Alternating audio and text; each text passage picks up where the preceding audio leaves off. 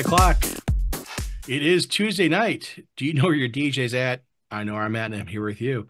It's another week, another beautiful DJ roundtable here on Twitch. If you're watching on Twitch, please make sure that you, uh, you know, in the chat, tell us who you are, where you're at. If you're not a regular, and if you're new to here on Twitch, welcome. Other than that, also we got people coming in and out. Uh, unfortunately, we do have one DJ down tonight. They have a gig, uh, but we have plenty of other DJs here, and uh, we got one coming in now. I got another one going back in a second or two, and uh, we'll go out with the show in a minute. But before we do that, do me a favor. You haven't done so already. Make sure you go to all these guys social media. I have links down below to all their YouTube channels. So make sure you go to their YouTube channels and subscribe to the YouTube channels and watch their videos. They have a lot of great stuff. Jeff has great gigs. Uh, Dwayne does. Bradley always has great stuff. Uh, Tommy has great stuff as well. Uh, and of course, Matt and myself, I have some great stuff to uh, always watch gig logs and shorts and so forth. But when you're watching this on YouTube, do me a favor when you're there, make sure you click that thumbs up icon that helps the algorithm so much. That's not even funny. It helps us build more people to see it. And then just make sure that you click on also subscribe and make sure the bell is turned on so you know when I drop a new episode. Today was a little bit late just because the fact that uh, it is tax season, which is one of the things we're going to talk about in a few minutes. And also, the other part of it is uh, because I've been busy and busy and busy. Uh, a lot of wedding shows. So, with that said, let's co- continue on with the show and have some fun here and some great stuff. Again, uh, now we got everyone here for tonight. Glad to see everyone here. Glad everyone make it. Everyone's alive. And uh, Jeff, did you get any of the rain or anything like that from that uh, storm that went through and went up north and dumped snow? Yeah, just a little bit of rain, not much. It was, mm-hmm. to, it was, supposed to, rain all day yesterday and it didn't. So, nah, just average. Okay. I know some areas got some good amount of rain. California got some good rain too. Saw that. Um, so you know, right now in the Midwest, we're we're good. Uh, but uh, I know you guys on the East Coast and West Coast have been getting a little bit of rain, a little bit of moisture, and uh, further north from you, they got some snow up there. Boston got hit with a little bit, and New York City and so forth. They got hit with uh, a few inches of snow. So hopefully, if you're watching from up there, from uh, like Mike is in northeastern Pennsylvania, hopefully you didn't get too much. I heard uh, 10, 12 inches in your area, Mike. I'm not, that's what the news said. I don't know what they had. Uh, he says you got six. That's a good amount of snow. And like like I told you the other day, you should have a snowblower, not just your son. With that said, let's start the show. And again, like like I said before, I started out with uh, one of the reasons why I'm a little bit late. It is getting into tax season. Don't forget April 15th. It's the same date every year, unless there's uh, falls on a holiday or something. That taxes are due. Always talk to a tax professional about taxes. This is not about any information to uh, basically uh, for your taxes. I'm not giving any tax information. So don't come and ask me, how do you do this? How do you apply for that? What's a 1099 or something like that? I am not a tax expert. What I'm telling you is what I do, and hopefully what else does, and share some information, how they prepare for tax season. What are some of the things they're doing? Uh, one of the things that we've been doing, and we started basically a few weeks ago, my wife and I, is separating all the bills because again you should be collecting your bills throughout the year for everything you're paying for and separating them and then we have now in the separate piles for each individual area and tracy was do, actually doing a spreadsheet to get the amounts there and this also gives you a nice thing to look back at and review how much you're spending on things you know how many how many hundreds of dollars or thousands of dollars you spend on advertisement, how much money or thousands of dollars you spend on a vehicle, how much mileage you do if you if you don't have a business vehicle, you're using a personal vehicle. Um, what are you looking at with certain things? And that's that's one of the things when we prepare for taxes for tax season, we start way in advance and getting stuff ready. And I would definitely tell you that anytime you're doing taxes, doesn't matter if you have a tax professional preparing for it or you have yourself doing it, you're doing software, whatever you decide to do. make sure you have receipts for everything, keep everything together, and make sure if you have a tax professional, ask them what they need and give them everything they need. And if they say, hey, you have any receipts for anything else, give them everything and explain to them this is everything you have. But do it organized, put everything together. If you're not sure, you can go to the IRS's website and look at where you put different areas, different uh, paperwork in it for different piles for, you know, one for you know food and uh, food and board, and one for rental, and one for maintenance for a vehicle, so forth, so on, depending on what your tax are. So make sure you talk to a tax professional and get that taken care of. So I'm going to start with DJ Brettly there, who is, you know, again, we're all small business people here. Um, what are some of the things you do to prepare for tax season that's coming up? Well, I got real lucky years ago. And this is when I was still living in Chicago and working for the last owner of the Heartland Cafe family, Red Line Tap. He was an accountant. And with that, he showed me some tricks, or not necessarily tricks. He just said, "This is what I do, so I can, you know, at the end of the year, just go click on each total and send to my accountant." So once a week, every Monday morning, I take out all the receipts from the business, you know, like what I've done for the weekend, be it gas, hotels, meals, the whole nine yards, and I will enter them into my spreadsheet, which you know, like a straight up financial ledger. So I've got, you know, checking savings, my due dates and all that, and my checklist to make sure I pay all my bills on time because I don't do the auto pay thing in case anything goes wrong on my end. So I don't start getting dinged uh, for, you know, over fees and all that. But I keep track of everything week to week. So when it comes the last week of December or the last, you know, January 2nd or 3rd, I can literally just take those totals, put them in a, in a regular spreadsheet that says this is all my expenditures for the year and then from there, when I used to use an accountant, and that was until 2018, I would, you know, literally pay attention to every line item they're doing and really have them explain it to me. So when I finally started doing my own in 2019, I knew what I, I really just copied what they did basically into the new form with my current info for 2019. And before I sent it, I've got a really good friend back home in Chicago. And I'm like, can you just glance this once? He's like, yeah. And he's like, You didn't miss anything. You're good to go. Cool. And so since then, I've kind of been sending it to him to get that done. And I, granted, this last year was a little bit expensive. Most I've made DJing in a while. So, it, yeah, my tax, I think I spent my, what do you call it? Oh, money owed to the IRS was like almost $8,000.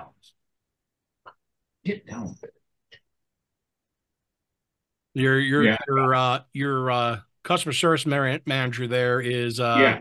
Trying to make sure that you uh, you uh, make sure that uh, they're taken care of uh, financially as well. oh yeah, I mean, my my accountant even told me how to write my dogs off and why. I'm like, oh, security, great idea. Why didn't I think of that? And because I have two levels of the house, I have two separate entrances. I keep now I keep one dog on each floor, and that completely covers that problem. So with my insurance, my insurance rates are actually cheaper because I have two dogs. Well, there you go. And again, this is something that, like before, make sure you talk to your tax yeah. your tax professional because it always varies from person to person to person, and state to state also has different things for state income tax. And also, you want to make sure you're following all the laws because you don't want to be audited. Auditing is not being fun. So speaking of another person who's got to get their taxes ready, Jeff over there in beautiful North Carolina.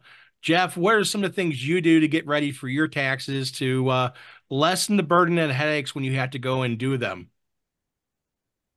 Uh, well, pretty much what everybody else does. I'm I'm in maybe a little bit different situation than than your typical DJ, but um, you know, I um, I, I do the the the normal things, you know, uh, just this, let's see, yeah, last week, um, met with, uh, met with my guy. He's our uh, financial advisor. He's not necessarily a tax advisor, but, uh, you know, so we, we have to, um, you know, meet with him once a year and figure out, you know, different Roth IRAs and, you know, different things going on with that. But, uh, but uh, so you know, I'm a little different from maybe your standard DJ in that uh, you know I have a another full time job, and uh, so that's where my main concern is, and uh, so yeah, but you know the normal things, you know, looking at receipts, looking at expenditures, and you know keeping track. Standard and that's stuff. One of, that's one of the things because you also have your regular job. You get a normal W two. You pay into the taxes through your regular employer employer it's one of the things that this is why talking to a tax professional is important because not everyone does this full time like you know tracy works for a company and she has her w2s and then i do this full time she does it part time and it's one of the things that every everything is different so always always always talk to people do things make sure you follow the letter of the law again uh, you want to make sure that you take care of everything. Do not get yourself caught in a catch 22. Talk to a tax professional. Um, but this is again, this is for us how to get how we get prepared for tax season. So next person I'm going to go to is probably the youngest person here, probably done taxes a few times. Tommy, eh, who is from originally from the Chicagoland area, who happens to be in the Great White North of Wisconsin, um, who's a little close to a little close to Green Bay. Hopefully, he doesn't rub off on him. He's still a Bears fan, and I know he's a White Sox fan. And by the way, White Sox they report tomorrow, but they are there today. They have everyone but one catcher. I mean, one pit, yeah, one catcher is there, not there today, but they have a lot of pitchers and catchers there already. I saw in the news, so it is really, really great to see uh, baseball season starting up soon. That's the the boys of summer are coming.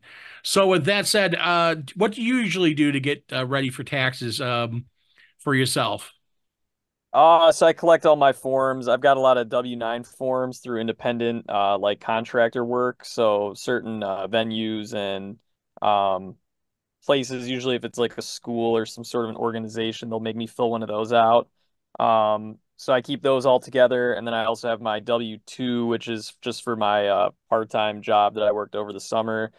Um, I get all those together as well as I try to keep receipts, like you were saying earlier, on all the uh, expenses I had throughout the year. So equipment purchases or uh, other uh, work that, like for example, the the dance that I had to do two weeks ago, I had to subcontract uh, a production company to come in and do lights and sounds. So like that invoice and receipt will be in there with the taxes, and then I just pass that on to my dad who uh, manages like the family taxes as well. So.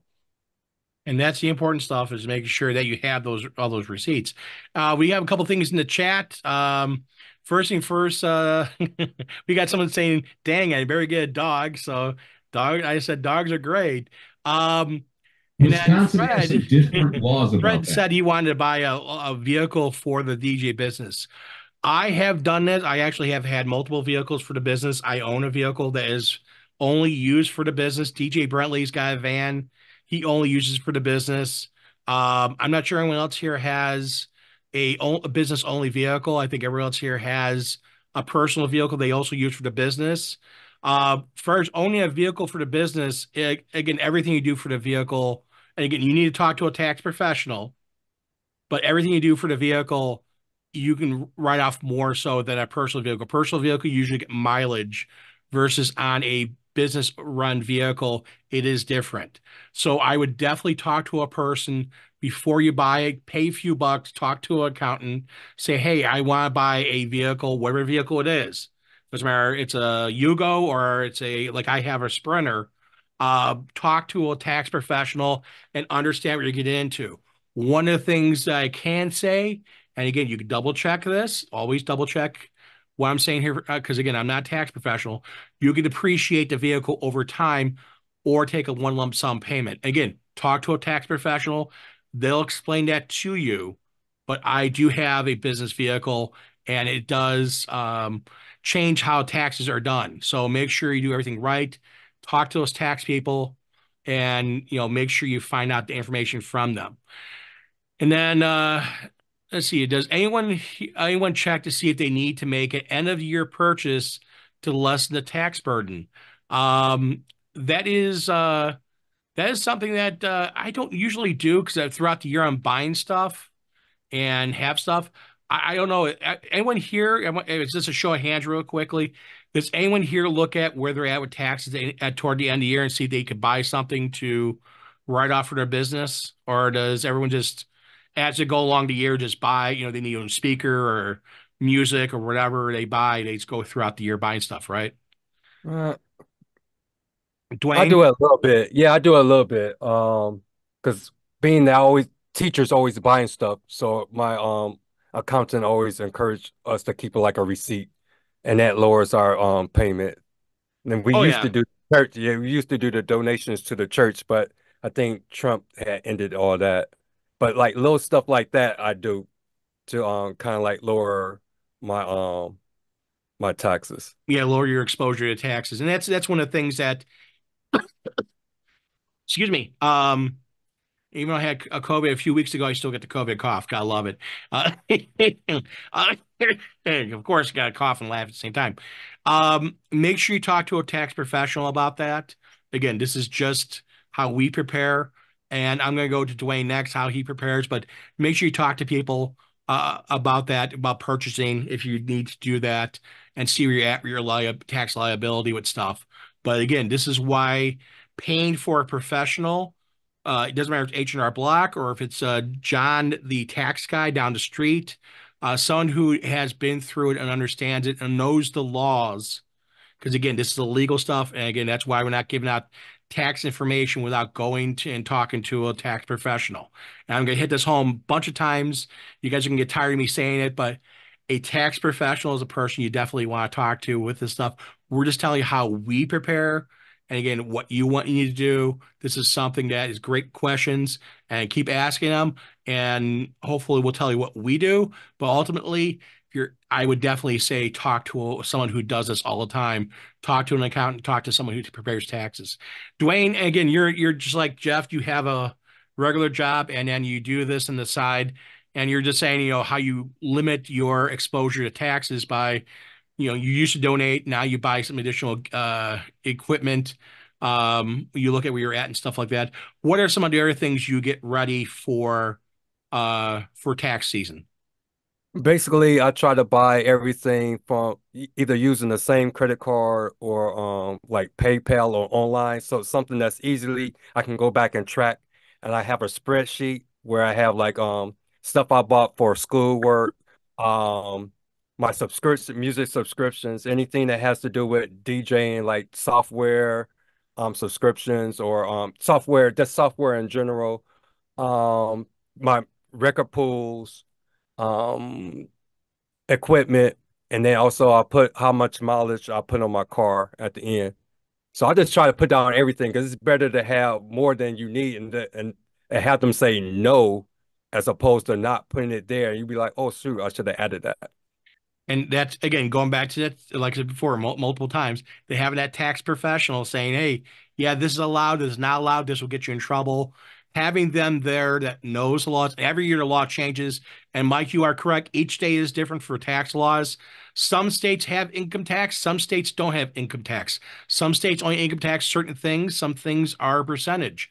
So again, that's what goes back into talking to someone who knows the laws, not just your state, but also knows the federal laws and can help you walk you through this um, to kind of get you, you know, in the right place. Because again, the last thing I want to see is someone getting any kind of trouble with uh with the government whatsoever. That's one thing we don't want to do. We just want to make sure we try and prepare ourselves. And again, hopefully this is maybe if you got your paperwork sitting there, you're like, oh man, I got organized my paperwork this will get you the ball rolling. And again, you can go to the IRS website, irs.gov. You can look at stuff on their website. They have a lot of information there, uh, a lot of forums and stuff like that. You can look at and look at the forums and they ask questions. But also, the other thing, again, partner with the people who prepare it. They will help you through. If you're not sure on things, ask them. You know, paid a few bucks, and yet you have 100%. If something happens, you have you have someone you can go to and ask for help, you ask for assistance. Uh, mileage and gas expenses can't uh, exceed what you brought home at the end of the year. This is true on a personal vehicle, but again, that's one of the things you got to talk to a tax professional because if you're going beyond what you're what you're bringing in, uh, that could be a bad thing. But again, talk to a professional because every area is different, everything is different. Like during COVID, it was totally different then, and the laws were a little different versus now and before COVID.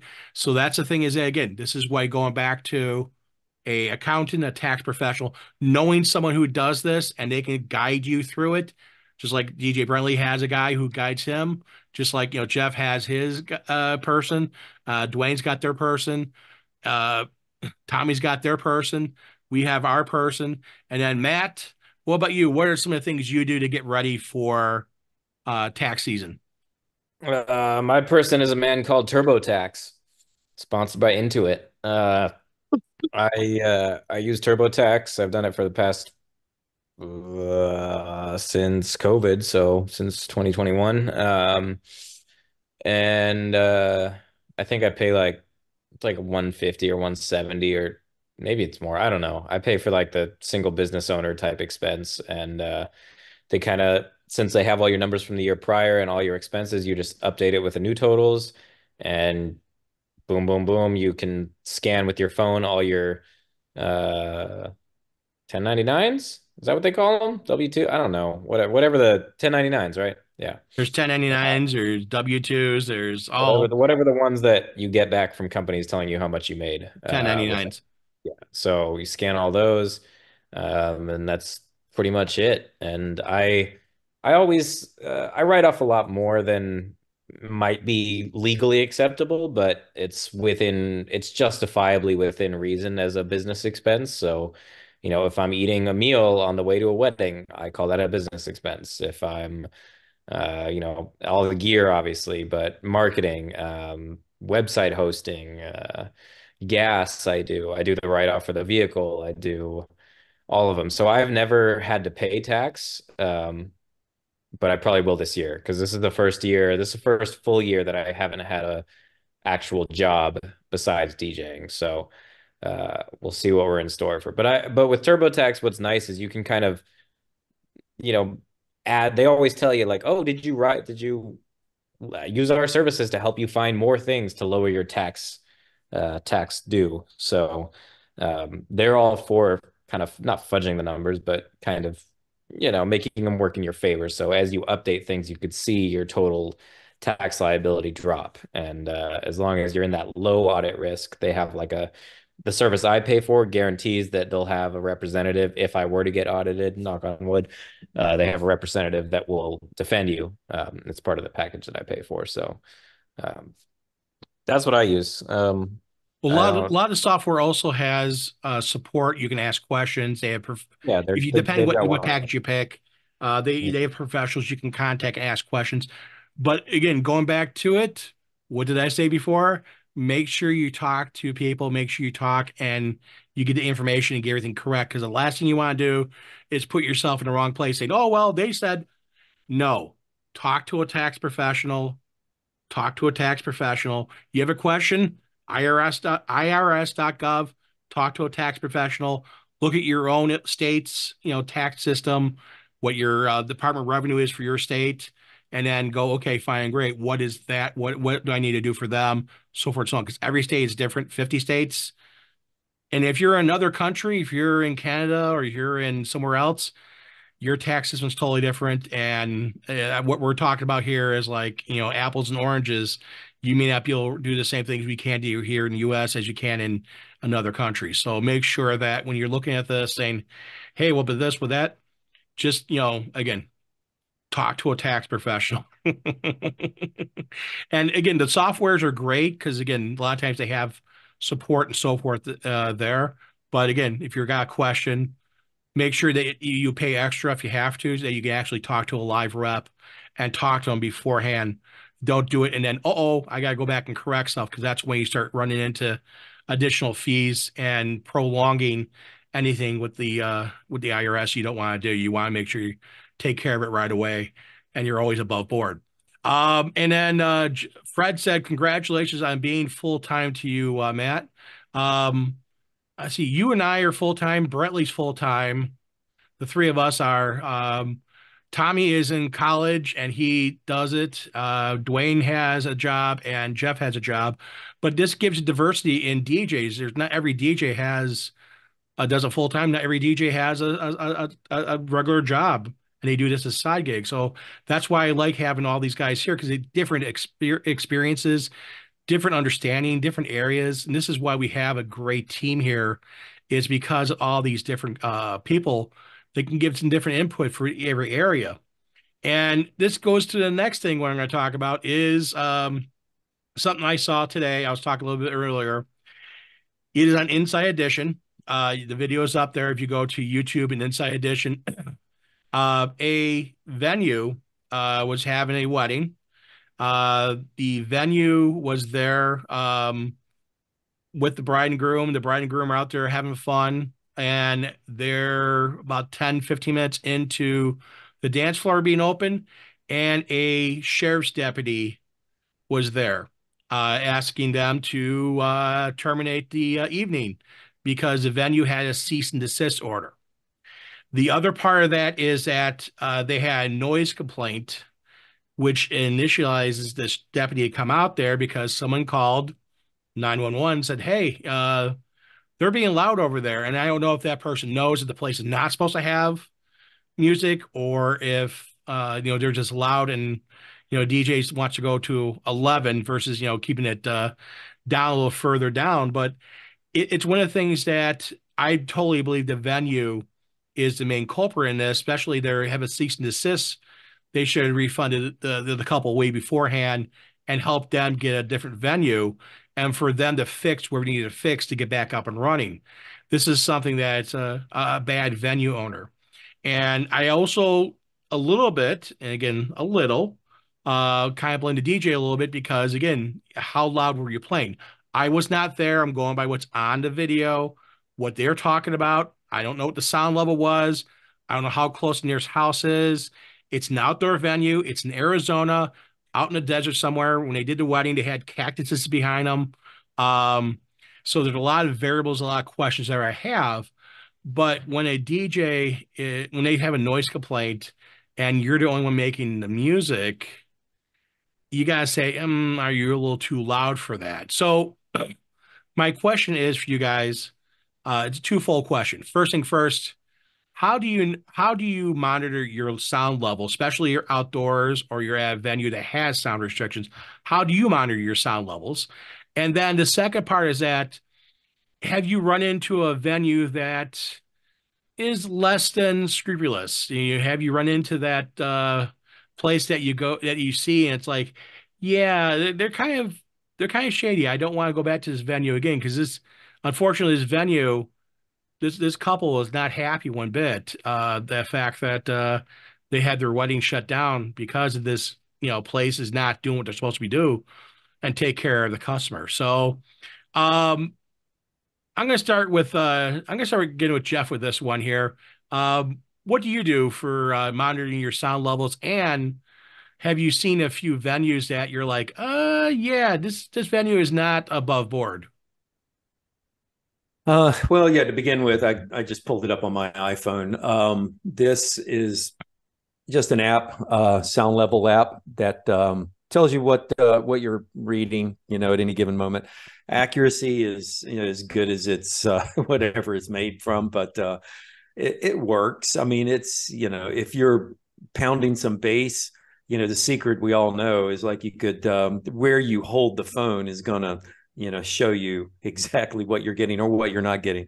Um, you know and one of the things is uh, you know it, if you need to show that you're under a certain db level yeah you can hold it you know depending on where you hold it, yeah, it you can manipulate it to to whatever you want to show. But it, it is a good um, it's good to have it's better to have than not to have uh, especially if you need to show an event or a venue person that you know here's where we are and this is where this is what we're reading. Uh, yes, I have had um, uh, on one occasion uh, one venue that uh, told me that I had to keep it uh, at a certain level, and we had to cut it off at ten o'clock, which was no big deal. That's when we had uh, planned the um, planned the evening to stop anyhow, um, and it was because they had a very nice neighborhood that butted right up against them and these were very very big houses and you know probably had some attorneys living in there um, but uh, you know, it, it is what it is. You know, like like we had discussed before, more and more of these, you know, I guess barn type venues are popping up around the country. Everybody wants to be a venue operator, and you know, they're in areas that. Uh, you know, maybe 50 years ago, 100 years ago, they were out in the middle of the country, and now they've got uh, houses popping up all around them. So they've got to watch, you know, what they're doing and uh, and be respectful of their neighbors. And you know, that's one thing that you know for for this couple that uh, that you were referring to, I think it's out in Arizona. You know, the the venue is responsible for that because they had multiple, from what I read, multiple um, uh, noise complaints in the past, and uh, we're told that they did not have a, a, license, and yet they still took money from this couple to host their uh, you know their wedding, and and then got shut down. So I would, uh, if I were that couple, uh, t- take it right back to them and um, say, hey, you know, I want, if not all, but most of my money back from that. So. so I, yeah, I definitely, yeah, I definitely would say yes. I would definitely say the, the venue needs to pay them, and also probably pay them for the whole entire wedding, including all the venue and uh, the DJ and photographer and caterer and whatever else they have there, because that wedding is ruined. And the other part of that yeah. is again, if you're a venue owner, you should know that you have a cease and desist order. You should not be hosting anything. And again, helping couples get other venues to have them for a special day and not keep money. It's some of these owners, I, just don't understand their business. Uh, DJ Brettly was talking about uh, how he knows in the city of Chicago, uh, if you're okay. 100 feet of a venue, you can exceed 60 dB. Um, yep if if you guys did not know this, uh, DJ Brettly is from the city. He's actually a little further in the city than I grew up in. I grew up in the far northwest side of the city. He grew up in the north side. And the other part is that his father actually owned a bar, and yep. Brettly was also in band. So he knows that fairly well for working as being in some of the venues in the city, as well as his father owning a uh, establishment, and how the city of Chicago and like most major cities will come after you and say because they don't want the alderman in the city of Chicago or government in any area do not want to hear complaints from a local residents that this venue is a pain in the rear end and they they hear stuff. Now, some people are, are oversensitive and complain about everything. Uh, I've run into venues like that. There's one venue up north on the Illinois Wisconsin border. Uh, it's a beautiful winery. Uh, they have a person that lives two miles down the road. Uh, if she drives by and hears any music outside, she will call the sheriff's department. Um, the sheriff comes out. The sound's always below the threshold, but she goes to the board meeting there and complains to the board all the time because she wants the venue shut down because she doesn't feel a venue like that should be anywhere in her area. And again, she's two miles down the road. In the area it's at, it's all farm country. This is a vineyard, and next to it is a it is basically a uh, was a soy field when I was there last. And they had a cornfield on the other side. So this is something that you know people sometimes complain about things they shouldn't be complaining about. Um, so I'm going to go to the next person here, uh, Matt in California. I know we were talking about this earlier. Uh, what do you do to kind of you know see what you're at for volume level and stuff, and as well as do you what have you worked or seen some uh, shady uh, venue owners that you're like, yeah, I do not want to come back to this venue because they're not following what they're supposed to. They're not doing what they're supposed to be doing to take care of the customer. Uh, uh, so I have a decibel reader. Um, I rarely use it unless the venue has a decibel limit. Um, but then again, I usually don't DJ at venues that have a decibel limit. Um, so uh, that usually takes care of that. Uh, I do though it's hard because in my booth I have a monitor, so obviously it's going to be much louder there than it is going to be at the back of the dance floor where they're probably going to take the measurement. Usually it's at property line anyway. Um, so I I always if there is a decibel limit, I usually work with whoever's there and just kind of like set where my max is going to be so that that way I know like hey, as long as I'm under this, I'm fine and that usually takes care of that. Um, but I don't. Yeah, that's. There's been some venues where uh, you've heard me in the past that I just do not want to come back to because they're just the the limit is just so low that it's just unfair to us. So, um, There's a there's a handful that I just refuse to go back. There's one that doesn't allow subwoofers, which is annoying because um, I know that a guy on their preferred list always brings his Evox system, and I think the girl at the venue is just not smart enough to realize that those are subwoofers.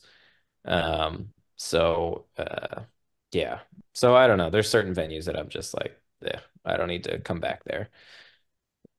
That's it. I I'm good with uh uh, most most we don't really run into here. It, it's certain cities like Palm Springs. Everybody there is a retiree, uh, or is um, yeah, it's a very retired retired place to live, so they don't like loud music. Um, and then there's also uh, certain area like residential. I don't usually do residential weddings if it's in your backyard or at some Airbnb. I usually don't do those um, for the same reasons because they don't really think about it and they say, "Oh, we've told all the neighbors." Yeah, well, I'm sure the neighbors are not going to be happy to hear pounding music at 9:30 uh, when they're trying to, you know, enjoy their nice house. So, yeah.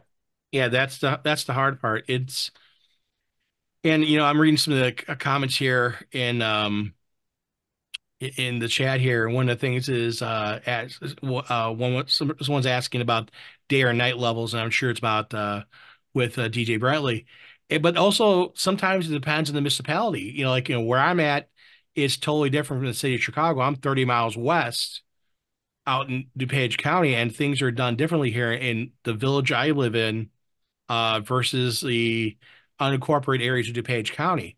And it is totally different than versus down in Chicago, you're on, you know, on Lincoln and Clark, you know, which is uh, kind of a, a lot of bars are over there. But also, it's, it's you have a lot of apartments right above the bars. You have apartments right next door. You have condos, you know, two, three million dollar condos across the street from a venue.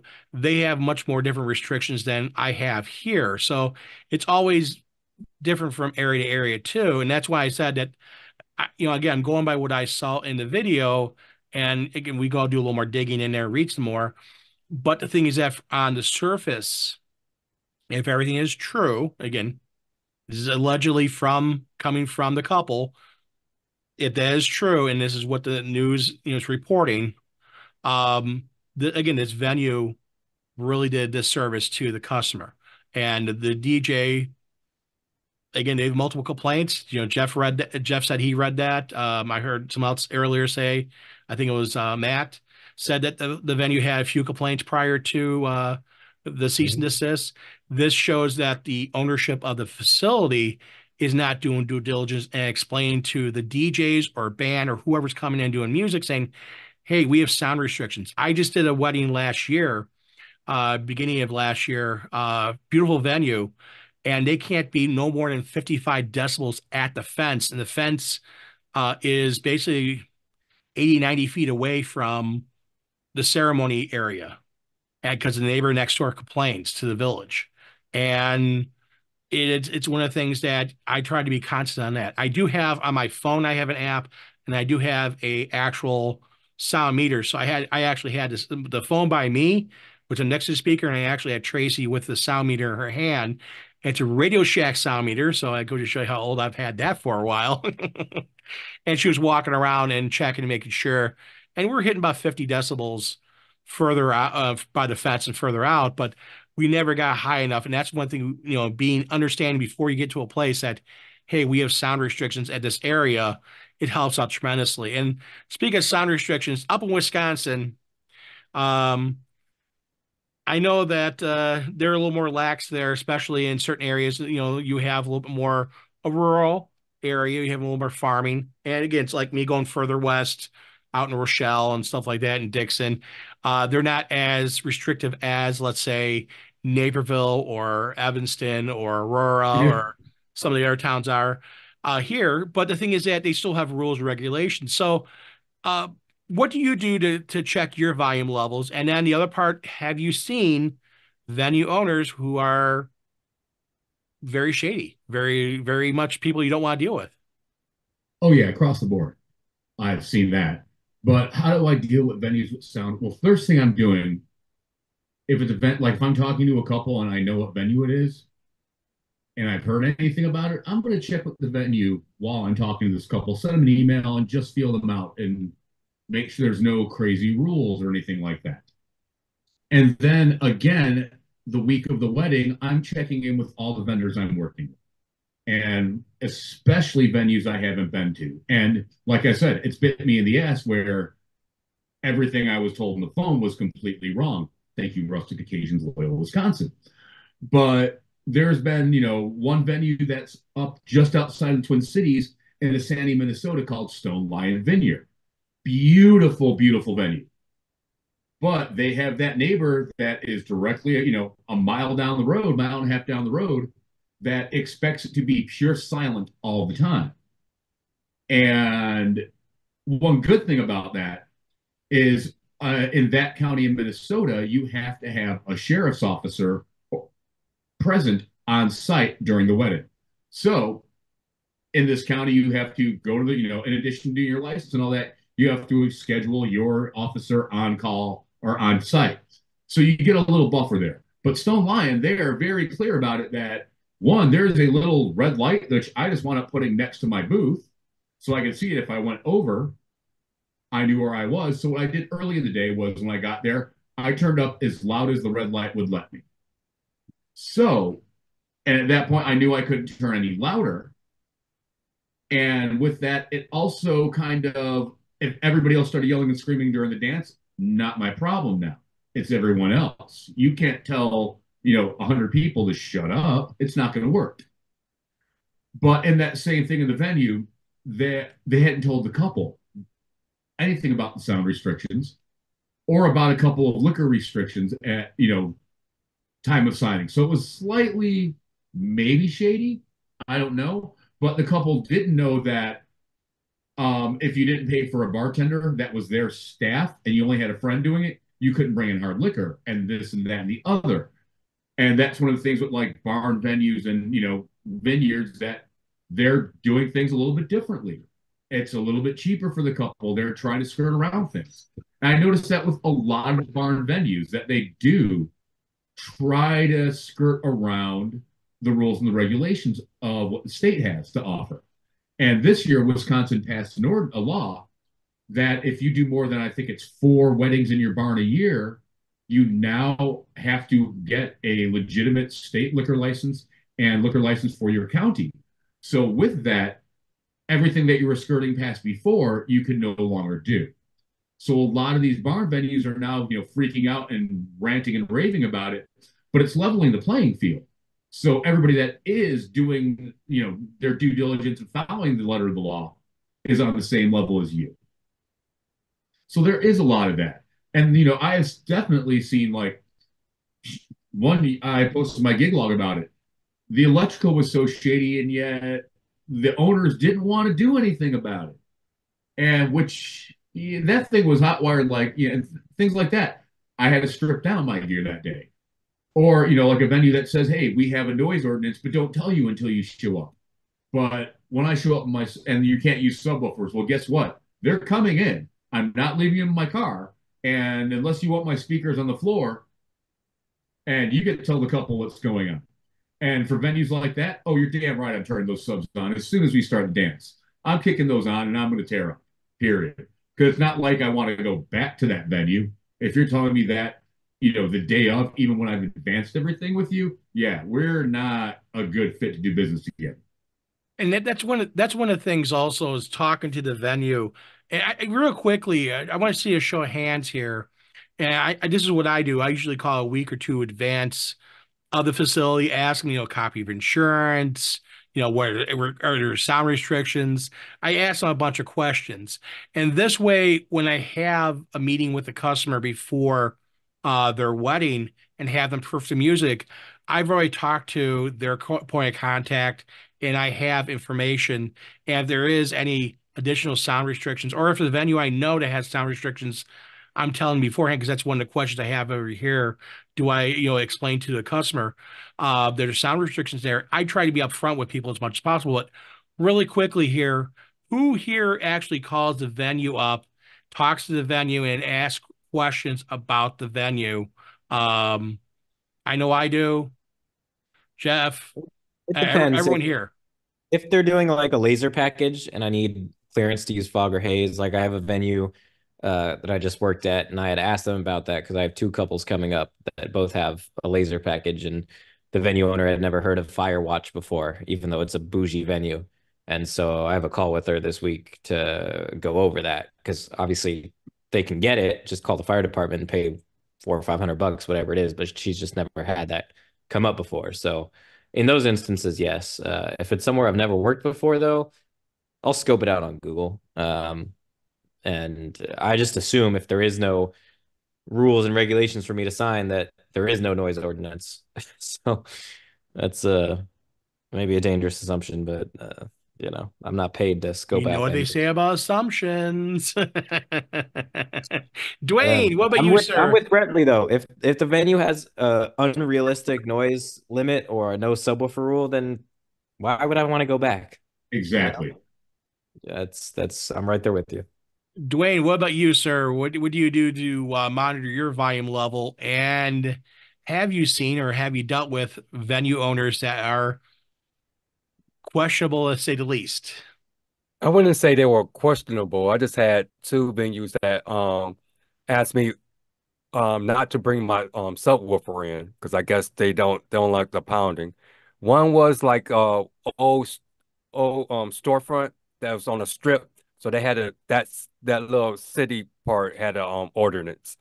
And the other one was a pizzeria where they didn't mind the music playing. They just don't didn't want anything to bleed upstairs. So basically, I just turned it on and then walked to those areas to make sure nothing happened. You know, I can't hear it. And then if the um go-to person is around, I just check with them, make sure the volume is straight right there. So I do it the old-fashioned way, just walk and check myself. And that's that's an important thing is take a look, take it, you know, play it, see what's going on, making sure that you're following, you know, again, especially if that God, uh, especially a venue you want to go back to, uh, make sure that, you know, again, you're following policy procedures of venue. Even if venue you're not fans for, you don't want to go to, still follow the policy procedures. And the reason why is this, you may be able to, again, this is a may, working with the venue and they, they like you and they say, hey, we want to be a preferred vendor. A lot of times they'll ask for feedback. You can give them positive reinforcement and you can give them constructive criticism on the things that you feel that are off. Uh, hey, you know what? I understand you don't allow subwoofers. Why is that? Oh, well, we're under strict uh, sound guidance from the county or village or town or state or whatever it is. Or hey, I, or they go, hey, I'm not a fan for them. I don't like them. You can you can probably say, hey, you know what? Instead of me bringing in two, maybe I can bring in one, keep it down low, and the, for the dance floor, just enough to get the dance floor hot on the dance floor, and that way it's not filling the whole entire room. Have you thought about that? You know, if you if I can control, I can I know how to control my equipment and make it so it's not crazy, you know, busting out bass all over the place.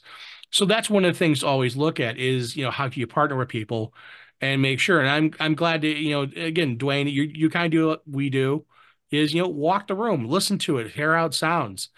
And you know, Jeff has an app, I have an app, you know, those are the things to have. You know, Brettly grabbed hold of the little device that had the red light on there. You know, Matt is also, you know, has a meter and make sure. And the last person I'm going to ask is uh, DJ APOC, aka Tommy.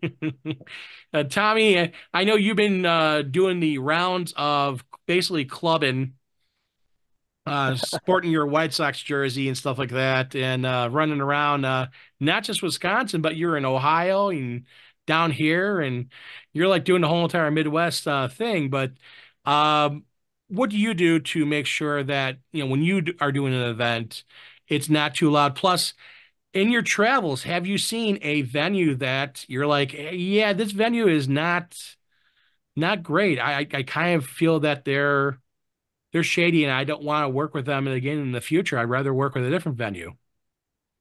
Uh, so same thing as like you and a few other people. I've got the app on my phone, uh, just like the decibel reader.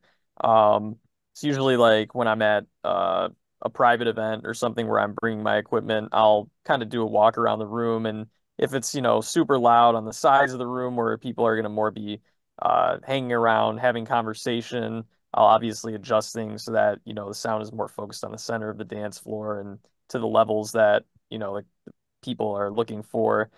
Um, as for like venues, um, been lucky. I haven't really had to deal with any venues so far that are like real restrictive on anything. Um, and then beyond that too, uh, I've been pretty happy with the places that I've played for, especially on like the club and uh, bar scene so far. Um, I do think part of that though is because of the like investigating that I put forth ahead of time. Uh, I try to avoid going into a place like completely deer in headlights without any idea of what uh you know what genre of music is typically played there, uh, what the um, expectations are from the DJ perspective. You know, do they want me to play an open format set? Do they want me to play a straight rap set? You know, I'd I'd like to have that information when I go into things. That way, I'm not completely uh, naive to it all. But so far, I've been pretty happy with the way that um, venues have been run that I've played at, and I haven't really run into any problems. There you go. And just keep rocking that White Sox jersey and uh, represent Southside Pride. got to keep that White Sox jersey on. Yeah. Yeah, we got to keep that. Now, and everyone here is a Cubs fan like Brettly. Brettly's a Cubs fan, but we still love him. well, we might have a new ballpark coming soon too. So, uh, I, I, I, I hope, I hope not. I hope not because I saw the renderings of the one that they proposed that's on the river, no parking, and uh, yeah, I'm not a fan. Give me, give me, get just just give me Comiskey. I, I really okay. feel that uh, Ryan that Reinsdorf needs to sell the Sox and the Bulls, and the McCaskeys need to sell the the, the Bears. That would make uh, things much better because I can recognize that the Ricketts who own the Cubs, they're fans first, owners second, and they've done so much money and done so much to Wrigley Field and that whole entire area to really make it friend fan, uh, friend friends oh, yeah. uh, friend fan uh, uh, if I could talk right, fan friendly, really fre- uh, fan friendly area, and they really made it really, really super nice. Especially turning you know, out McDonald's and the, the the the whole entire park out there, and that Taco Bell is gone. I'm actually when I went down there in uh, December to see my mom, I went and checked in with a couple of clubs down there because if I'm gonna have to be going back and forth a little bit to see my mom, I might as well make the most of it. And baseball season's coming up, and they have a lot of Sunday games, and those bars are raging, like just party until you drop on a sun on a Sunday. I mean, even harder than Wisconsin goes, except for at Packers games. So yeah, um, that's the area to be, one of the really popping areas to be in. Like even the Sunday, uh, a week and a half before or two weeks before Christmas, it was Sunday at nine o'clock, and I'm walking by one of the clubs up there. It is packed, and they're playing like freestyle and you know house from the '80s in this club. I'm like, if I didn't have to go take care of my kid, I was staying there. But yeah, that's a hopping hopping area now. The Goose Island building, which is now the UFC Fight Center upstairs, to you know Sluggers, which has always been there. The Cubby Bear, which keeps growing. It's like wow well, the Cubby Bear being right across street from you know from Wrigley, and the Ricketts invest all that money in there. Um, I could see the Cubby Bear just growing and growing and growing, and basically taking over the whole entire block and just being that monster it, venue. It could be. I but, mean, DJing know, there, I've done I've done a couple of gigs there, and the, one was in between a set and after the uh, in between shows and after the show, and this is years ago. But wow, it, it, there are literally pushing people out at 2 a.m. That's that's the way it works, and you know, hopefully, uh, maybe uh, they'll get some some of that on the south side. But you do have Ricobene's not far from uh, Comiskey. Uh, best uh, Italian steak sandwich probably in the whole entire Chicagoland area. Uh, if you haven't done so, if you come to Chicago, put Ricobene's on your list. Uh, they take make it. You can look up on YouTube. They take a uh, steak pound it thin, bread it, deep fry it, put it in their marinara, put it on French bread, and it is to die for. They also have a food truck too, which hopefully when they start back up this spring, um, at least to get the chance to have some Ricobene's. I've been at it in a long time because haven't gone down there for a bit. Uh, but really quickly, I want to ask the panel, Uh, I know the Super Bowl was this past Sunday. I want to ask you, you know, we had a Chicago DJ there, a little small DJ, uh, DJ Kaskade, at the uh, at the Super Bowl because he filled in for Tiesto. Tiesto had some family matters he had to take care of, and uh, did you? I'm going to ask yes or no, and this is nothing. You know, again, there's not. I got you question. This is just a yes or no question. Did you happen to catch some of the stuff that uh, that he did, and were you watching what he was doing? And you enjoy his little bit of music he was there put onto the TV? So, Jeff, did you uh, happen to watch the game, and did you happen to watch Kaskade do some DJing? Yes, I watched the game. Uh, no, I did not see much of Kaskade. Maybe just a couple of shots. Uh, the party I was at, uh, the audio was, uh, you know, the crowd noise was loud, and you couldn't even hear the commercials. I had to watch the commercials the next day, so uh, so I couldn't really, you know, get a lot of what Kaskade was doing. So yeah. Okay but still it was cool. You know, you had a cool, you were at a cool party. That's that.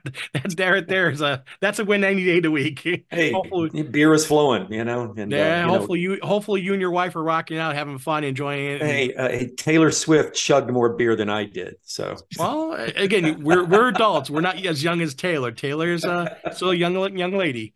Uh, APOC. Tommy, did you watch the game and did you see Kaskade and and uh, did you get a chance to watch a little bit of his mixes? Uh, I watched the game, but I wasn't. I don't think I had it on early enough to see when they were panning the camera on him. Because what I seemed to catch, like on social media after, was it seemed like he was mixing more pregame. Uh, but I did watch uh, videos on Instagram and stuff. I saw stuff of him everywhere, and uh, he put something out himself. He was like played uh played one of my songs to 100 million people this weekend because of all the people watching on TV and stuff. So that was pretty cool. That would, that'd be a really awesome opportunity. Yeah, he had, he had uh, four CDJs and a mixer set up, and he was doing without, you know, he just did thumb drives. Was doing without. Yeah, I think it was four three thousands and uh, yep. one of the new mixers. Yep. Yeah, I was I was watching. I was looking at equipment, looking at stuff as a DJ. Always looking at the gear. I'm a gearhead, so I was like speakers and lights, and uh, of course, you know I know how to mix and what to mix. But uh, DJ Brettly, did you happen to watch the game and did you catch uh, Kaskade? I didn't watch the game. I decided that I had more work to do than anything else to get ready for the upcoming steps I've got. And I kept the score on my phone like I was watching this, you know, score progress. But I just didn't, with all the crap on social media and all the, you know, about, am I a Taylor fan? Yeah, but having to watch her and watch all those hype around it, I just didn't have time for it. And do I want to catch Kaskade, what they did? Yeah, I will probably YouTube that and a couple other things from the weekend. But what I mean, I, I guess I thought it was more important to actually accomplish something on Sunday. And I also had a gig Sunday afternoon. So by the time I get home, I just wasn't in the headspace to watch it. Okay.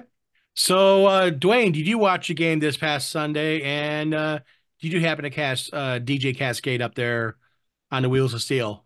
Yeah, I watched most of the game. I fell asleep pretty much after halftime. But I did I did see like glimpse of him, but I didn't really see him like they didn't when I saw him, he they didn't show that much of him mixing.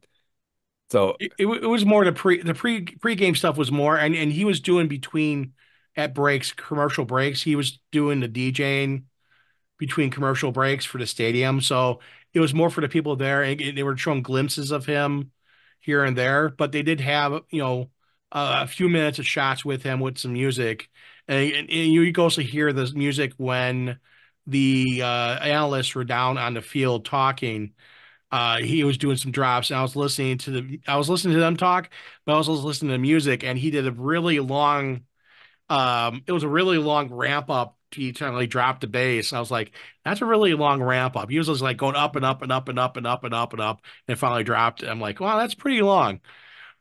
But it was cool to see, uh, you know, uh, see him up there, and uh, he, I'm sure he rocked the house. And uh, I'm, I'm unfortunately, uh, you fell asleep and missed the the second half. I thought was much better than the first half of the game. Uh, just had a little bit more excitement because that that first three quarters of that game just just ached by really slowly until the last quarter. That's when it really started to key up. So you didn't miss too much up to the fourth quarter. uh, Matt, what about you? Did you uh, get a chance to watch Kaskade? Did you watch the game and did you watch his uh, performance? Of course, we had a little uh not a party, but just a couple friends over, watched the game and got some wings and some other appetizers and um yeah, it was it was good. I mean, it's devastating that our California is not going to have a championship, but uh, you know, whatever. I mean, I honestly don't like either team, so I don't care who won, but I hate the Chiefs more than anything. So I was really rooting for the Niners, as was the whole stadium, um, except for the five Chiefs fans that we happen to see there. Um, I don't think anybody should be allowed to be a Chiefs fan if they don't live in Kansas City or Missouri, like uh, if, they don't live in Kansas or Missouri. Um, but people are bandwagoners, just like the Patriots. You know, oh my God, look how great my, my team's doing. I'm going to suddenly support them, even though I can't name a single player besides Patrick Mahomes.